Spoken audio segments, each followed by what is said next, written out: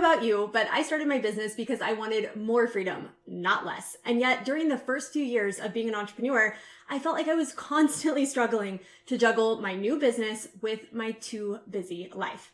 I'm gonna guess that your to-do list is already super long, and as an entrepreneur, it just gets longer, right? So how the heck do you juggle all of it? How do you get it all done?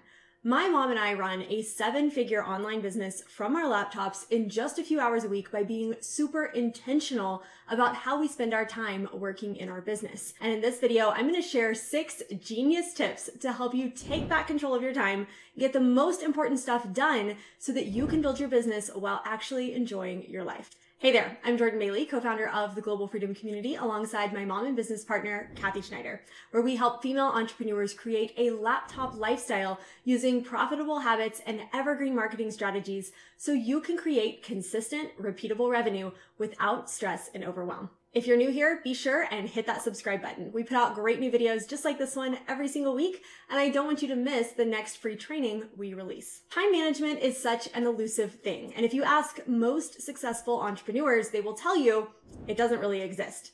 At the end of the day, we all have the same 24 hours, and while it's tempting to say things would be easier if you had more time, the truth is we're all busy, and you'll always be able to find someone out there who has less time than you do, but still manages to get it all done. So if time isn't the answer, what is the answer? We have found that success isn't so much about the time that you have, it's more about what you do in the time that you have. We can't manage time, but we can manage what we personally do within that time. And that's what I want to help you do today. But before we dive into the six tips, I want to remind you of the 80-20 rule. So the 80-20 rule, also known as the Pareto principle, states that 80% of outcomes result from 20% of all causes for any given event. In business, the goal is to use the 80-20 rule to identify which activities are the most productive and spend your time focused on those activities. 80% of the actions you take in your business will create 20% of your results. On the flip side, 20% of your actions will create 80% of your results. People get overwhelmed in business because they are majoring in minor things. Stop spending your time on the 80% of things that aren't going to move the needle in your business and start focusing on that 20%. Okay, so let's talk about how you can do that.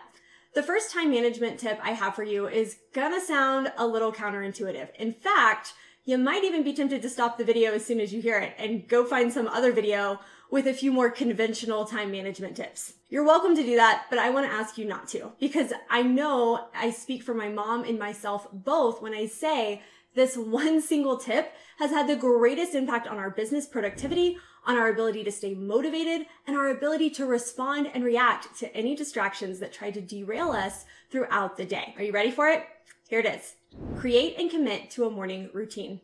There are dozens of scientific backed studies pointing to the benefits of a morning routine in terms of productivity, lowering stress, raising energy, and increasing motivation.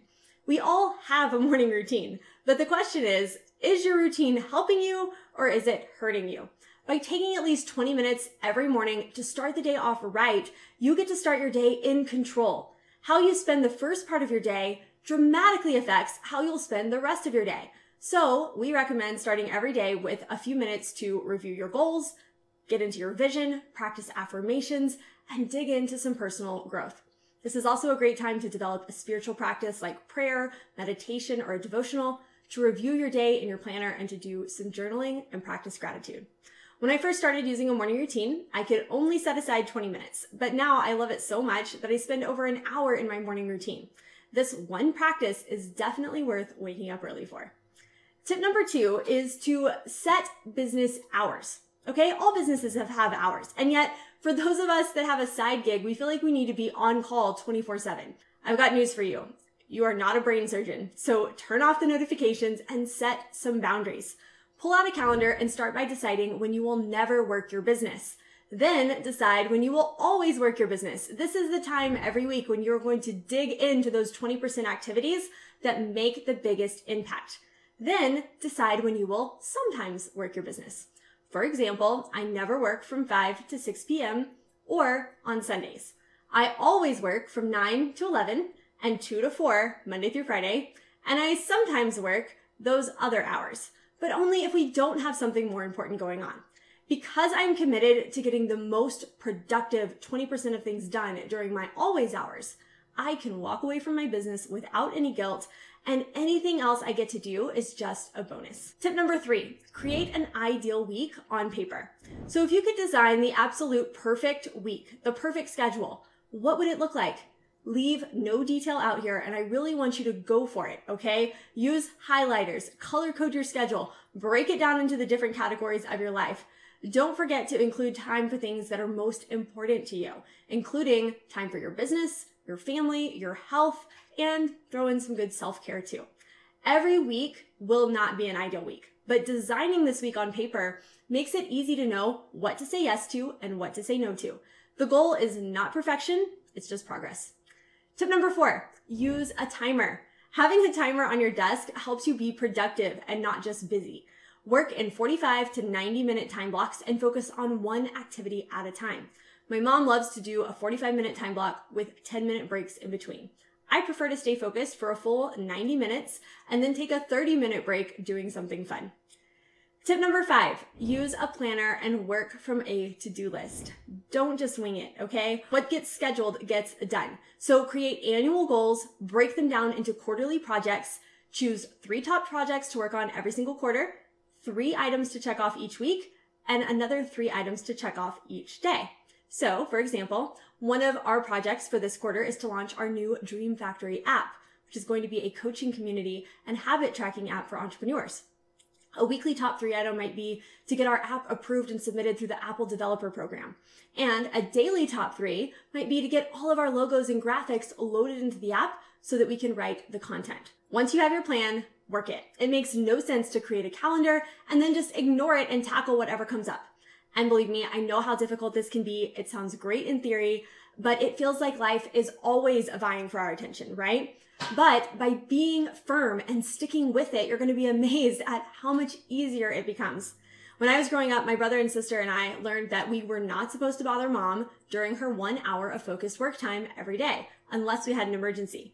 This was when she was working on those 20% activities that would drive the needle in her business. Today, even though my husband and I both work from home, we both really respect each other's time blocks. We try not to interrupt each other when we're in the middle of a work session. The final tip, review every single one of these things and adjust. In the beginning, you may need to adjust once a week, but long term, the goal should be to adjust and review every 90 days. Life happens. Things change. I know when my husband started working from home because of the pandemic, we had to make a few shifts in our routine and it took us a few times to get it right. Have grace with yourself, but be persistent and stick with it until you find the schedule that works for you. Remember, success is not about how much time you have. It's about what you do with the time you have. So focus on those high impact activities. Start with a morning routine, create an ideal week, set business hours, use your planner, and work from your to-do list. One of the reasons my mom and I are able to run such a profitable business in such part-time hours is because we have profit systems to help us generate leads, sales, and signups in our business on autopilot. For example, just this past weekend, we enrolled two new clients into a $1,000 program while hanging out with family and celebrating my husband's birthday. This isn't a rare occurrence. It happens all the time because we were extremely intentional about creating a business with systems that work for us even when we don't. So if you want to see inside this profit system that we use to power our seven figure business, we created a full 60 minute training to help you out. Inside, we break down the exact blueprint we followed to go from social media nobodies to hitting $300,000 in sales with our business in just 10 months without a single launch, without a single Zoom call, and without sending messages to strangers on the internet. You can check it out now at globalfreedomcommunity.com forward slash free training. Okay, that's all I've got for today. One big part of time management is staying on top of your social media content and having a profitable strategy so that you can create more content in less time. If that's something that you want to dive into, check out either one of these two videos. Just don't forget to hit that subscribe button before you go so that you'll be notified the next time we release a new training like this one. Thanks so much for watching and I'll see you next time.